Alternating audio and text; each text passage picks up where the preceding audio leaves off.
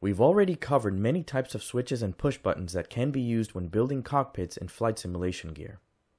Although these are typical electronic components we find in real aircraft, we can have some fun with touch sensor modules as well. You can use these for many things. Let's say for example if you want your switches to be completely silent, you want LED indicators when something is on, or if you have a disability that doesn't allow you to easily push a button or throw a switch.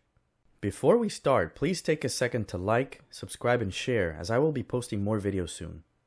Also, make sure to review the video's description for links on everything you need, as well as additional material that can be useful.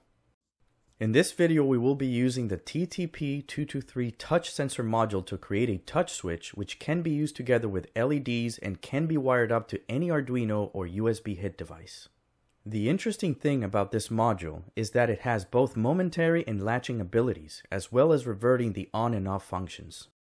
Let's take a closer look at the module. For the most basic setup, which would be a push button or toggle switch, we would wire as follows.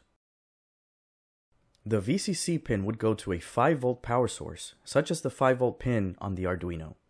Ground goes to ground, and the I.O. pin is the digital pin that will be assigned a function in the Arduino or the HID card. This is the pin that gets turned on and off when your finger touches the sensor. To wire this up to a HID card, you would need your own 5 volt power supply, and then proceed to wire as follows. Now let's add an LED to indicate when the switch is on or off. For this feature, I am using a 5 volt LED with a pre-wired resistor.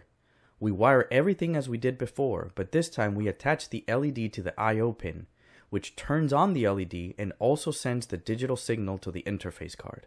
Also remember that if you plan to use several touch sensors with their own LEDs with your Arduino or other card, it's recommended that you use an external power source.